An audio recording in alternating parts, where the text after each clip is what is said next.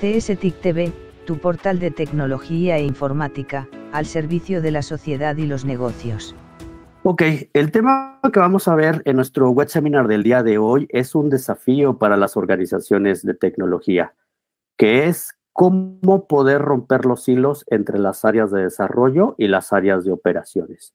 Este es una constante en la cual representa un verdadero reto en las organizaciones porque actualmente en base al contexto cada vez se nos exige ser más ágiles, más veloces, por lo cual las áreas de desarrollo y operaciones tienen que trabajar de manera integral, de manera conjunta, propiciando la colaboración y la comunicación.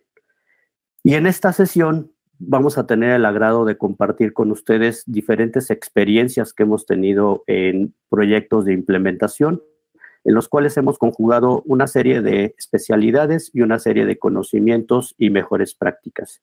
Para ello, vamos a tener tres panelistas eh, que voy a tener el placer de presentarlos. El primero de ellos es Harvey Pérez, que tiene alrededor de 20 años de experiencia implementando mejores prácticas, metodologías en las áreas de tecnología. Él es, eh, tiene formación de ingeniero electrónico, es IT expert, tiene certificaciones en IT 4, es auditor líder de ISO 20000, COVID, administración de proyectos, Scrum, Scrum y cuenta con maestría en desarrollo organizacional. Actualmente se desempeña como consultor senior en Pink Elephant tiene alrededor de 17 años implementando mejores prácticas en temas de agilidad, ITIL y DevOps. Harvey, buenos días. Un placer tenerte con nosotros en esta sesión. Hola, ¿qué tal? Buenos días a todos. Muchas gracias, Ernesto. Muchas gracias, Harvey. Muy bien, nuestro siguiente panelista es Juan Carlos Arenas. Juan Carlos ha trabajado en la industria de TI por alrededor de 30 años en proyectos en México, Estados Unidos, Reino Unido, España y diversos eh, países de Centro y Sudamérica. Tiene especialidades en sectores financieros, retail, construcción, educación y telco. También tiene conocimientos y certificaciones en CMMI, ITIL, SAFE, Scrum, Pinbook, ISTQB y DevOps. Eh, también ha ayudado a las organizaciones a llevar a cabo la transformación digital y hacer realidad los temas de DevOps y una eh, integración de herramientas ágil a lo largo del ciclo de desarrollo. Él es ingeniero electrónico y cuenta con una maestría en negocios y también es líder evaluador de CMMI y es Certified Safe 5 Agilist. Muy bien. Juan Carlos, muchas gracias por estar con nosotros. Muy buenos días. Al contrario, gracias a ustedes, Ernesto. Buenos días a todos. Buenos días, Juan Carlos. Y nuestro tercer panelista es Juan Ruiz. Él cuenta con 30 años de experiencia igual en el sector de TI para México y Latinoamérica. Desde hace dos años, él ha estado comercializando la solución de Enterprise Service Management en Sherwell.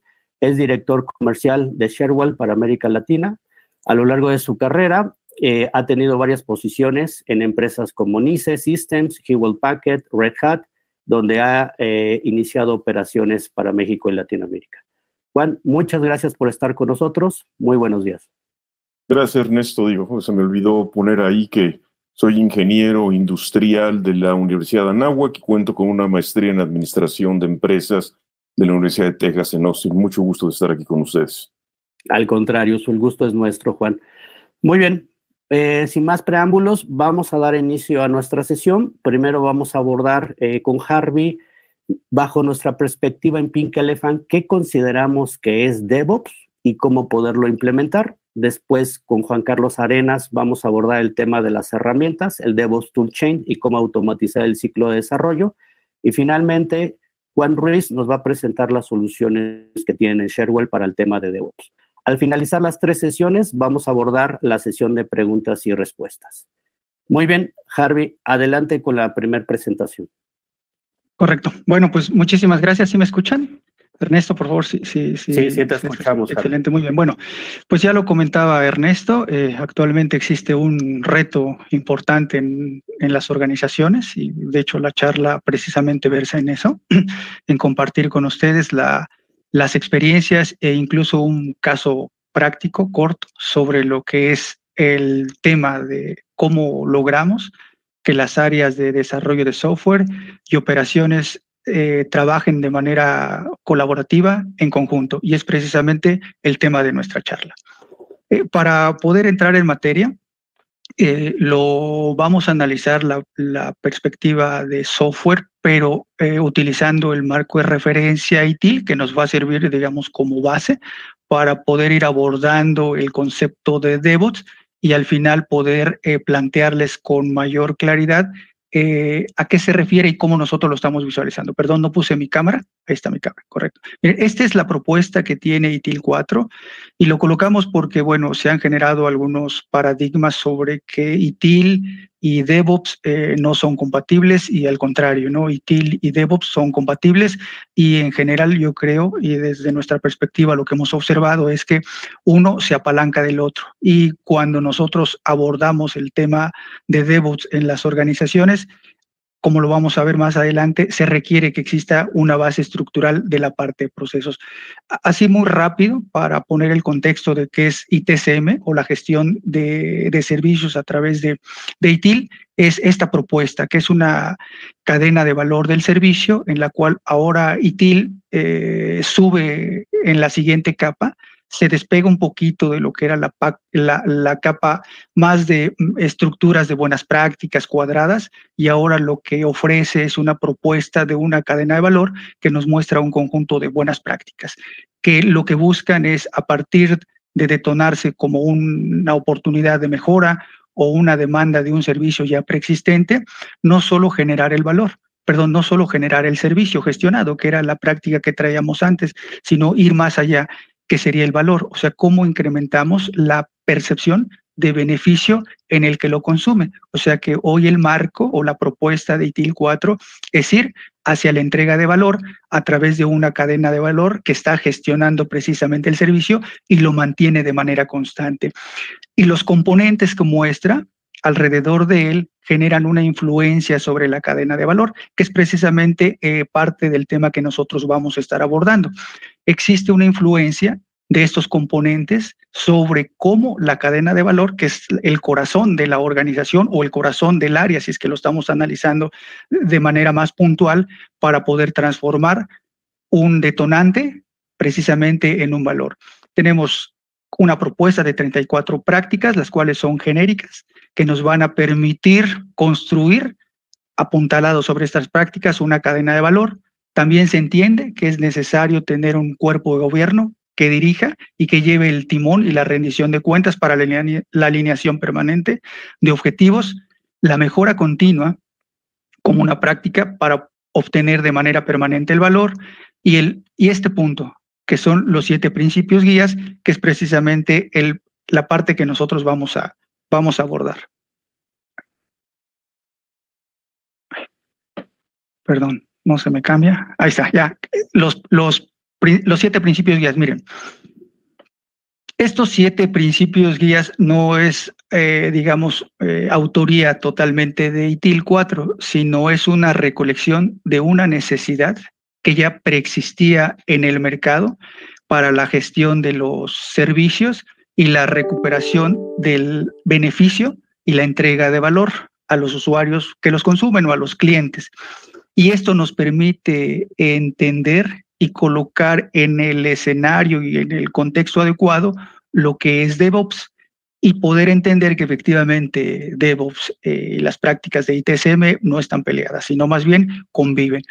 Mencionaré ya de manera rápida y voy a resaltar algunos puntos que nos van a colocar en la, en la puerta de, de DevOps.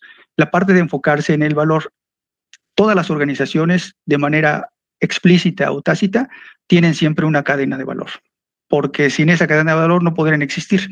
Eso es lo que genera productos o genera servicios o genera componentes y precisamente es sobre lo que tiene interés. Sin embargo, este punto lo que nos dice es, debemos de identificar en esa cadena grande o compleja o pequeña o sencilla, cuáles son los aspectos que generan la percepción de beneficio en el que los consumen. Y ahí es a donde viéramos de enfocar nuestros, nuestros esfuerzos, que digamos es el pilar más importante de la práctica, incluso también de DevOps, es uno de los pilares importantes.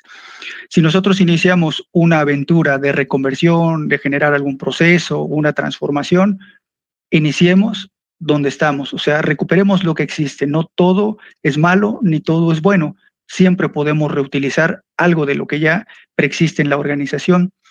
Progresar de manera iterativa es eh, busquemos dar pequeños pasos, evitemos el parálisis del análisis de los viejos esquemas que nos deteníamos a planificar semanas o incluso meses y no nos atrevíamos a dar el paso hasta que tuviéramos una planificación perfecta, ¿no?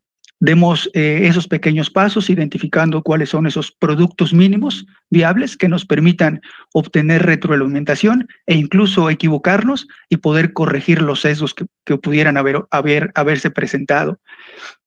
Este es importante, la parte de colaborar, o sea, eh, establezcamos o privilegiemos eh, entornos colaborativos en el cual los intereses del equipo estén por encima de los intereses individuales. Esto crea, ¿verdad? Incluso eh, movimientos o transformaciones a nivel cultural y también a nivel organizacional, porque muchas de las organizaciones efectivamente crecieron generando estructuras que propiciaban más bien los hilos o trabajos en equipos, pero no colaborativos. Pensar y trabajar de forma holística también nos va a ayudar para entender DevOps. O sea, los sistemas, los servicios, los productos, las organizaciones son complejas. Las medidas simplistas a veces no, no aplican y entender que como ecosistema, si nosotros cambiamos o modificamos un engrane, esto nos modifica completamente el entorno mantenerlo simple y práctico es partiendo del principio de valor, habrá algunas actividades que las estamos realizando y que no generan ningún valor, pero se, se fueron permeando y se generaron paradigmas ahí. Entonces, verifiquemos aquello que solo nos propicia desgaste y que no genera valor para mantenerlo simple. Y este último, que es otro de los principios también que nos ayuda a entender la parte de DevOps, es eh, reduzcamos la cantidad de trabajo y en especial la cantidad de trabajo humano y busquemos automatizar aquello que sea posible. Entendiendo todo esto, vamos a hacer una pequeña pregunta para ir censando. Eh, Bárbara, aquí sí nos puedes ayudar. Con toda esta información que charlamos, no hemos hablado aún de DevOps, sin embargo, con la información que ustedes ya tienen, ¿qué es lo que consideran que es DevOps? Son muy sencillas las preguntas, pero incluso las respuestas, eh, automatización del desarrollo de software, colaboración entre equipos de desarrollo y operaciones, optimización de los procesos de transición. Por favor, si nos ayudan. Ya está abierta la pregunta y ah, nos está contestando el 40% de los asistentes. Nos esperamos tantitito para que un poquito más respondan.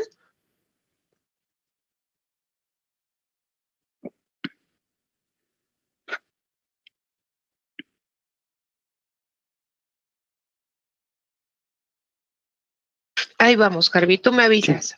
Correcto. ¿En qué porcentaje vamos para poder cerrarlo? El 70%. El 70%. Correcto. Unos instantes más, por favor, si nos ayudan. Lo, cerramos, este, eh, Bárbara, y si nos ayudas compartiendo, por favor.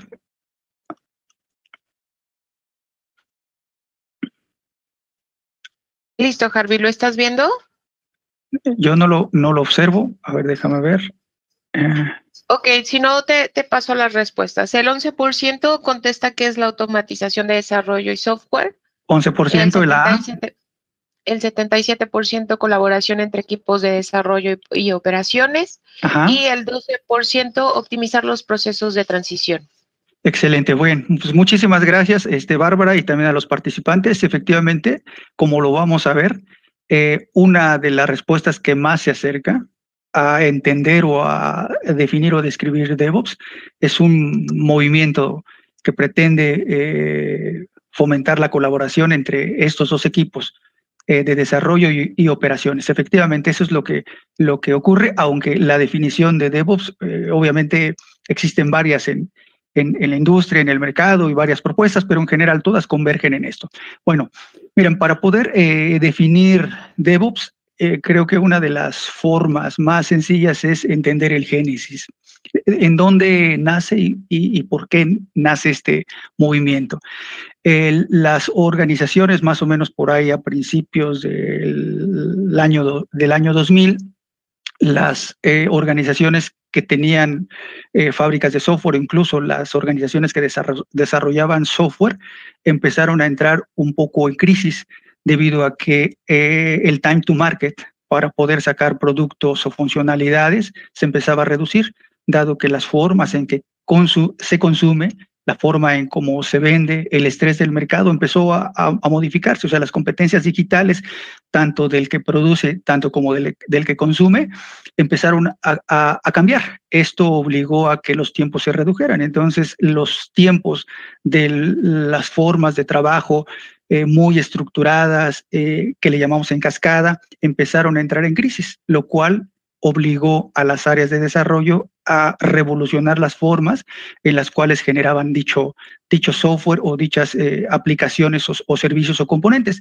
creando una, una brecha entre los equipos de desarrollo y los equipos de operaciones. Entonces, al empezar a ocurrir esto, nace ese movimiento, ¿verdad? Que es un, cambio en la forma de trabajo, de tal manera que permite estrechar y generar una colaboración entre los equipos que están desarrollando software y los equipos de operaciones.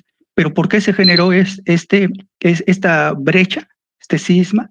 Porque eh, lo que hemos detectado, que es parte de lo que vamos a compartir, es que las áreas de desarrollo son las que primero evolucionaron y las áreas que están en operaciones hoy se encuentran a la saga, aún no se han movido y es precisamente esta brecha que estamos encontrando.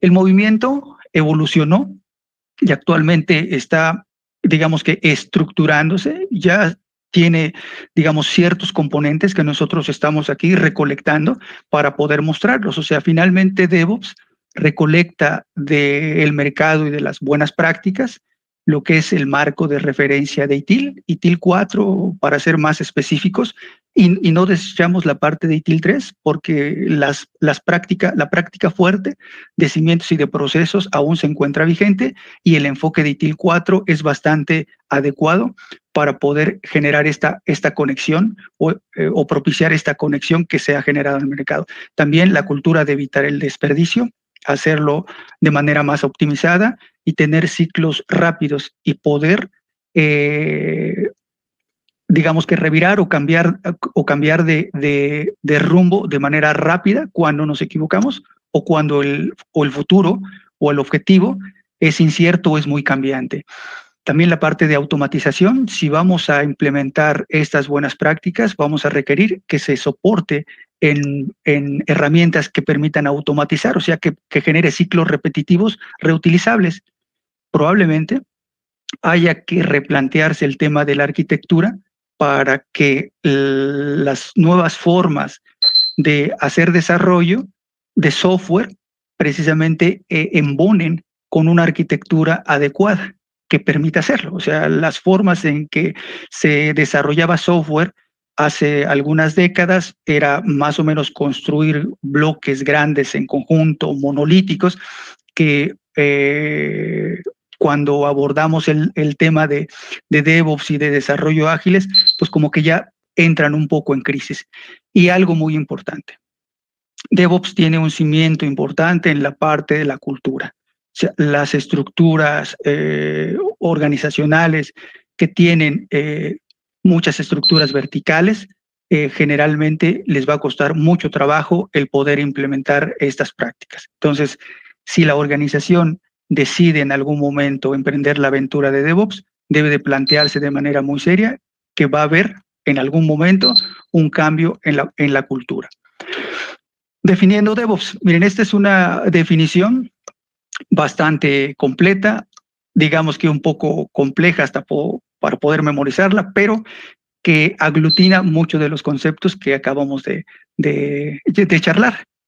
Conjunto de mejores prácticas, que aglutina o recolecta las propuestas de ITIL, de Lean y de Agile, permite, ¿verdad?, eh, acercar la colaboración entre desarrollo y operaciones, tiene un sustento en la automatización, propone una cultura de aprendizaje, ¿verdad? Y la generación de valor. ¿no? Esa es una definición de DevOps, no es la única.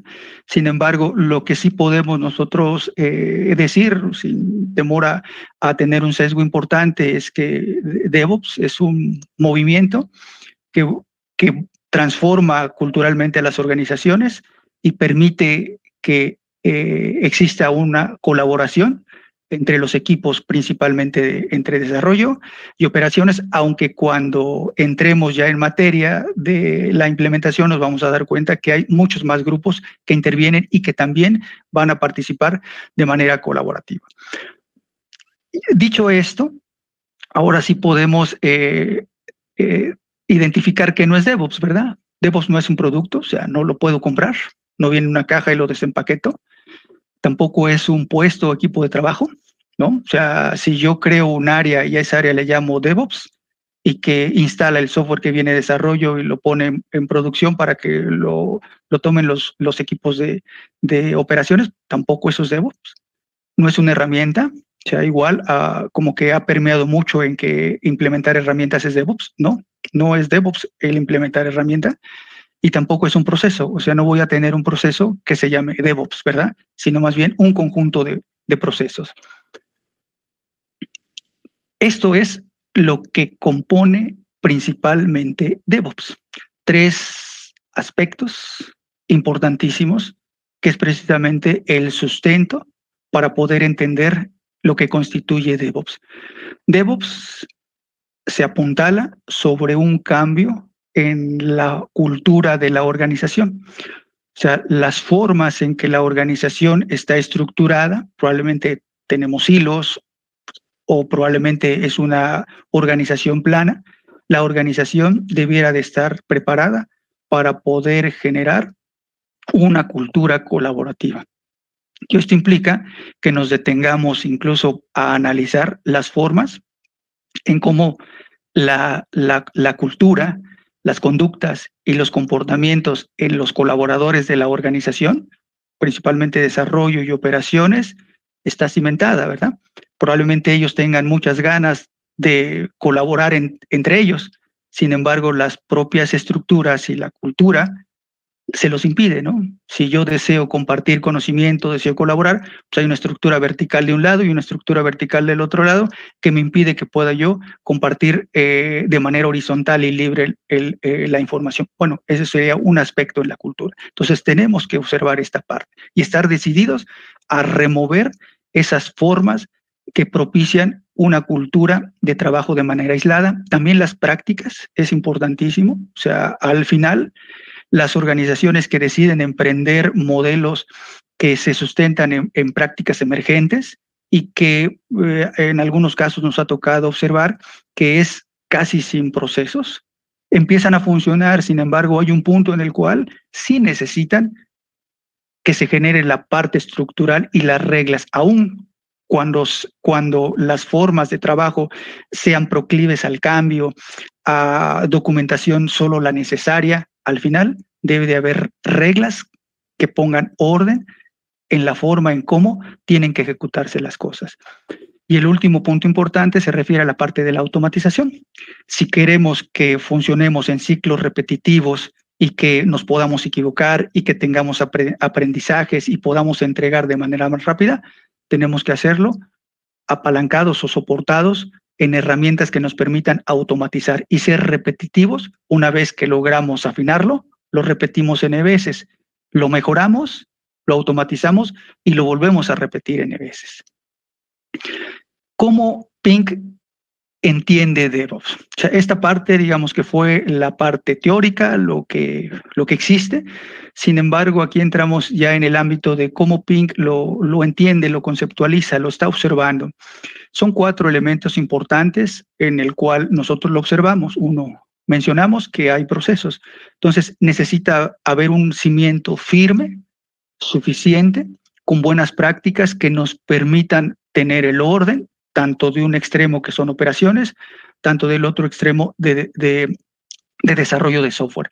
Si esto no lo generamos, en algún momento vamos a entrar en crisis o vamos a tener que buscar la ayuda de la necesidad de estructurar procesos y generar prácticas que mantengan el orden o nos den el cimiento para poder construir sobre ellos. Organizaciones ágiles. Mencionamos que es necesario que sea, se realice una reestructuración. Efectivamente, nosotros observamos también que es necesario que se haga un análisis e incluso una reestructuración. Las organizaciones que son más planas eh, adoptan con mayor facilidad estos tipos de modelos que las organizaciones verticales. O sea, no significa que no se pueda, solamente que es más retante de una manera que de la otra. El cambio cultural es importantísimo. La organización deberá de planificar la cultura y las conductas que espera de sus colaboradores para que puedan efectivamente adoptar las nuevas formas de ejecutar las, las actividades y las nuevas estructuras que se generen para que, para que podamos tener y darle la bienvenida a una cultura colaborativa. Y no menos importante, la parte de las, herramientas. O sea, todos estos elementos deben de estar presentes. Si alguno de ellos no existe, pues DevOps solo será un objetivo que se encuentre muy largo a la distancia o muy como un objetivo muy difuso que se nos va perdiendo. ¿no? Tenemos la parte de DevOps Toolchains, eh, que son las herramientas que nos van a ayudar a poder eh, gestionar las actividades que están dentro del desarrollo de software y las actividades, perdón, y las herramientas para ITCM que son de gestión de servicios. Y aquí ya, ya vemos la, la, perspectiva o la forma como Pink lo está observando. Vamos a tener más adelante una charla para la parte de las, de las herramientas que le llamamos DevOps, que ayudan a coordinar las actividades en, en, en la cadena de desarrollo de software, y también una charla con Juan sobre las herramientas de ITCM. ¿Qué es lo que nosotros hemos observado? en las organizaciones que nos han invitado a participar o a colaborar con ellos. Lo que comentamos en un principio, o sea, el, el génesis de la confusión entre dos áreas que se ven antagónicas, pero son el extremo de la misma cosa. Las áreas de desarrollo y las áreas de operación, en el cual por la presión del negocio, las áreas de desarrollo modifican la forma en cómo están generando los productos, el software, ¿verdad? y lo, y lo han hecho de tal manera que ahora pueden implementarlo o quieren o están en la posibilidad de poder implementarlo mucho más rápido y en ciclos más cortos en las áreas de operación. Y en, y en el área de operación, pues se han, han vuelto más robustos, tienen mejor mm, madurez y alcanzan mejores niveles de servicio, de tal manera que tenemos una estabilidad de este lado y una creciente necesidad de incorporar nuevos servicios. Sin embargo, se ha creado este muro que evita que efectivamente esta agilidad y velocidad con que se incorpora la innovación o se pretende incorporar no llegue con la misma cadencia, con la misma velocidad. Esto se encuentra, digamos que materializado a través de un cambio perdón, a través de un proceso de gestión de cambios que se vuelve muy cuadrado, muy estructurado, muy rígido y poco flexible en aras de cuidar la, la, estabilidad en el área de operaciones, que también es un, es un, un driver importante y un, y un requisito importante que el negocio le pide al área de operaciones, de tal manera que es inescalable o casi inescalable para las áreas de desarrollo. Esto es lo que generalmente hemos observado. ¿Qué es lo que propone DevOps precisamente para modificar o para generar esa colaboración entre las áreas que hemos charlado? Propone 15 prácticas esenciales.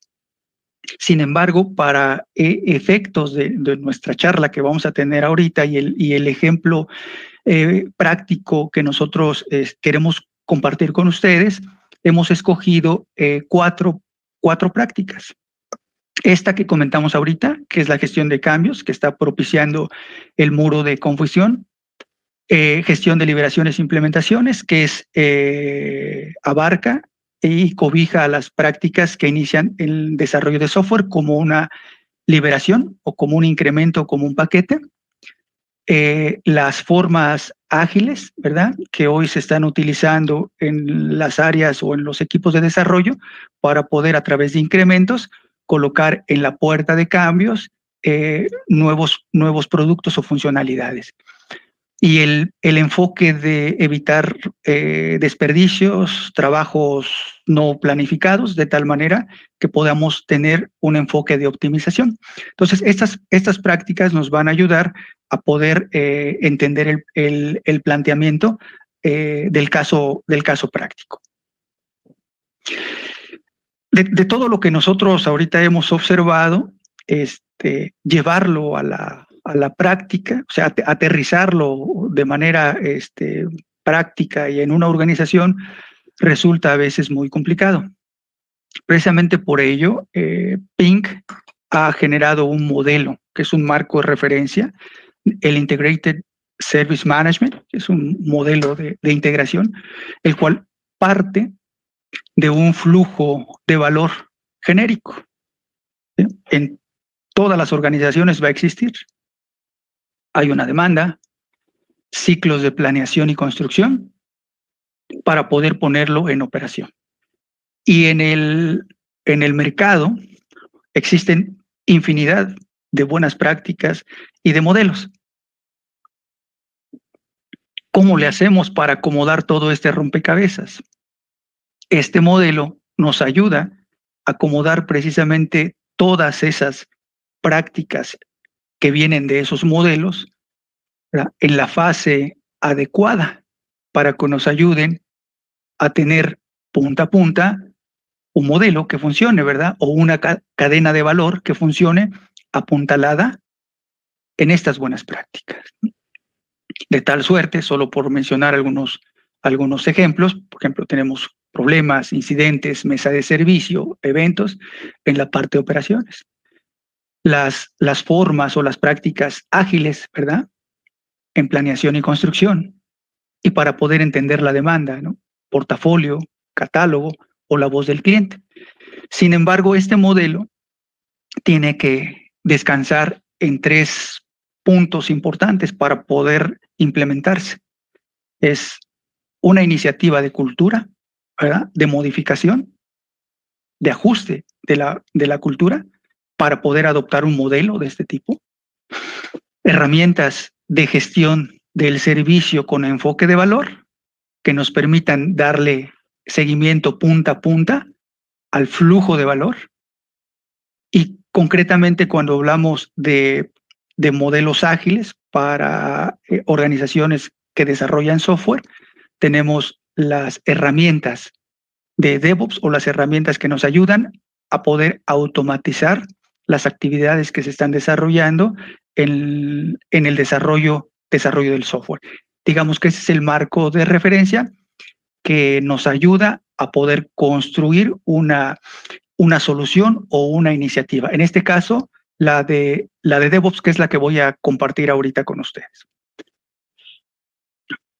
Miren, esta es un, un, una propuesta de cómo hemos hecho nosotros para poder cerrar esa brecha con un enfoque de prácticas de proceso y un enfoque de herramientas.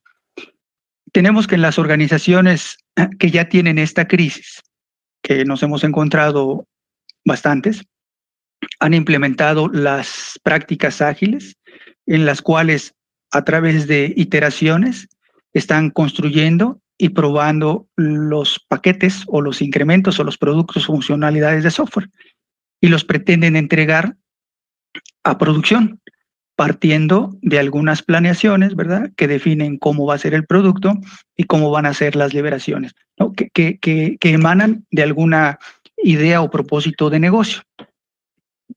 Perdón. Sin embargo, en la práctica, esto se queda estacionado aquí y no puede pasar con la cadencia necesaria al área de, al área de producción. Perdón, perdón. Entonces, la propuesta del proceso, perdón, de la solución, es generar un proceso que aglutine prácticas de liberaciones, que abarque desde la concepción de la estructura de la liberación y se extienda hasta la puesta en producción. O sea que el propósito del proceso de liberaciones no solo se quede en una entrega del software en la puerta de producción, sino que se asegure que dicho software o dicho producto o incremento esté listo para poder ser utilizado. Esa es la propuesta. Entonces, cobija, punta, punta desde la planeación, que es la concepción de cómo será la liberación y la estrategia, hasta que finalmente está disponible para ser utilizada. No se corta. Y tiene que ser habilitada por un proceso de cambios que se extiende hacia la derecha, perdón, hacia la izquierda, de tal manera que la sensibilidad del riesgo la puede conocer de manera temprana y colocar los controles necesarios, y ahorita vamos a ver cómo los, esa parte de control que a veces nos, nos da miedo escucharla porque nos impide la cadencia, este, se pueden implementar, ¿verdad?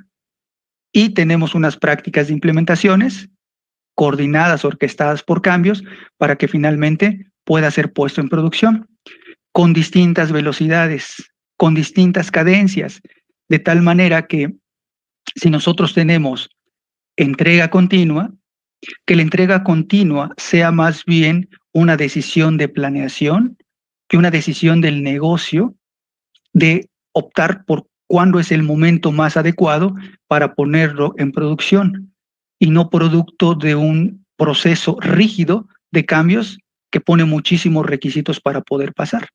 E incluso para situaciones, digamos, más sencillas, o que el negocio requiera o que la planificación así lo establece, que puedan estar, digamos que ya preaprobadas de tal manera que puedan, entre, que puedan implementarse de manera continua en el ambiente productivo. De esta manera tenemos dos carriles, carril de baja y el carril de alta, pero desde la planeación se conceptualiza el carril sobre el cual va a transitar y cambios ayuda de manera temprana involucrándose a que esto efectivamente ocurra. Y la liberación no termina en la puesta en producción. La liberación termina hasta que la, la liberación o el incremento está listo y en condiciones de ser utilizado.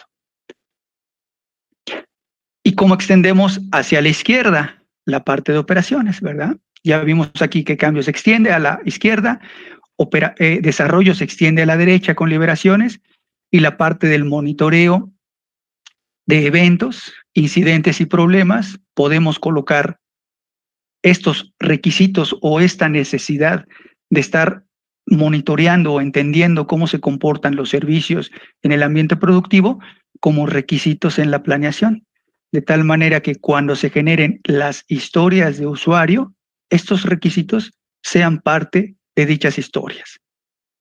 Ahora, esto eh, conceptualmente se escucha bien, el reto es cómo lo implementamos. O sea, suena, escucha, aquí viene la, parte retante. No, no significa que esto no sea retador, esto también, porque incluso hay que romper algunos paradigmas hoy, sobre todo en la conceptualización de cambios, que es el primero que encontramos, y el segundo en liberaciones, ¿no? Cada uno defiende su silo o su parte, pero finalmente hay que romperlo.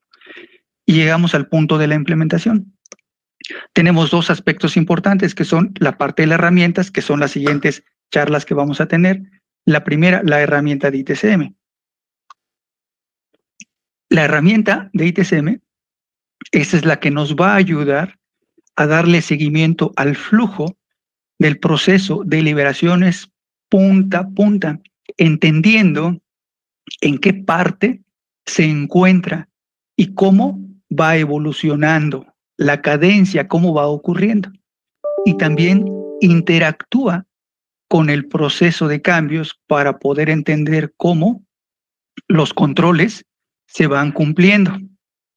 Si nosotros queremos que esto sea con mínima intervención de un humano o de un operador, tenemos que irnos a la siguiente capa, que es las herramientas eh, de, toolchain, o sea, de desarrollo de software de tal suerte que la información, por ejemplo, de las historias de usuario o de la planeación del sprint o de la planificación del, del producto o del release sea recolectada a través de una interfaz entre la herramienta de gestión del proceso de liberaciones con la herramienta donde se encuentran las historias de usuario. Otro ejemplo, los criterios, ¿verdad? De, de, de don o de realizado que en alguna herramienta se encuentran de igual manera. Cuando hemos automatizado eh, eh, la tubería por la cual transitan las pruebas, ¿verdad? Las pruebas de, de, unitarias o las, o las pruebas de QA, todo eso puede ir alimentando a la herramienta de ITSM de tal manera que una aprobación de cambios deja de ser manual y se convierte en automática cuando la herramienta DevOps genera un control que enciende una bandera en, en ITSM y que aplica los criterios de cambios y permite seguir el flujo. ¿Dónde se va a detener? En el punto en el cual la herramienta genera un código o una señal o una alarma diferente a la esperada, tal que la herramienta impide que esto ocurra o, si ocurrió, sabemos en qué punto se establece el error. Digamos que esa es la, la, propuesta del el muro de confusión, cómo lo hemos abordado y no viene visualizado aquí. Sin embargo, es, es importante eh, comentarlo, que esto funciona si la organización eh, tiene una iniciativa real de establecer un nuevo enfoque en la parte de la cultura. Entonces también la organización tiene que apalancarse de las áreas de recursos humanos o retención del talento para poder asegurar que, que este modelo, que esta potencial solución efectivamente pueda transitar y evitar lo que todos nosotros conocemos, ¿no? La parte del, del rechazo a una nueva forma de operar.